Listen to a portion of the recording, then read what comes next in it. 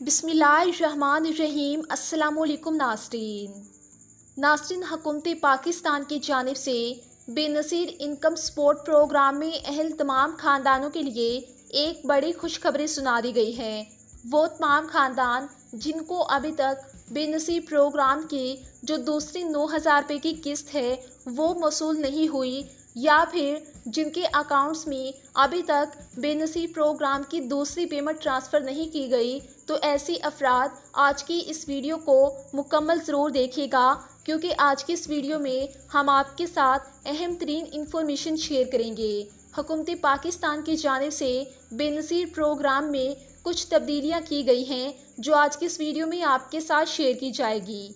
नासरीन वो तमाम ख़ानदान जिन्होंने अपने बच्चों का अंदराज बेनसीर तालीमी वज़ाइफ में करवाया था और उनके बच्चों के ना तो पिछली बार वज़ाइफ मिले और ना ही अभी तक आपके बच्चों के तालीमी वज़ाइफ का एसएमएस आपको मौसू हुआ है तो आपको ये वज़ाइफ कब तक मिलने जा रहे हैं? मुकम्मल इन्फॉर्मेशन आपके साथ आज की इस वीडियो में शेयर की जाएगी।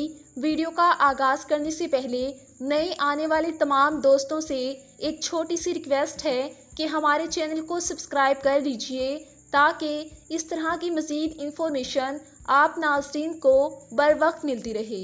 तो नाजरीन, सबसे पहले हम आपको बताते चले हकूमत पाकिस्तान की जानब से, जो बेनसीब प्रोग्राम की दूसरी पेमेंट है, नौ हज़ार रुपये की, वो जारी कर दी गई है। काफ़ी ख़ानदान ऐसे हैं, जो इस वक्त ये पेमेंट वसूल भी कर चुके हैं, लेकिन काफ़ी ख़ानदान ऐसे हैं, जिनका ये कहना है कि हमारी पेमेंट अभी तक हमारे अकाउंट्स में नहीं आई है। तो हम आपको बताते चलें, हुकूमत पाकिस्तान की जानब से एट वन सेवन वन के ज़रिए आपको आपकी पेमेंट का एसएमएस भेजा जाएगा। जब आपको एट वन सेवन वन से आपकी पेमेंट का एसएमएस मौसू हो जाए तो आप अपने करीबी किसी भी बेनज़ीर के दफ्तर या एटीएम मशीन से अपनी पेमेंट वसूल कर पाएँगे।